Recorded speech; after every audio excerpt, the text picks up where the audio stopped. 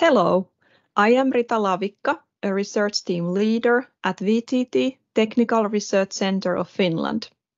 I will tell you about the results of the Nordic BIM for LCA research project.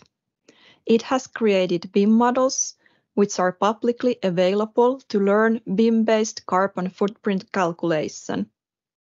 It is a process where BIM provides adequate quantity information, which is then linked with emission data in an LCA tool.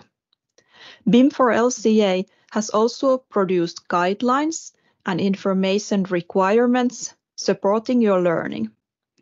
Please also review the report on the LCA and BIM practices in the Nordic countries and Estonia.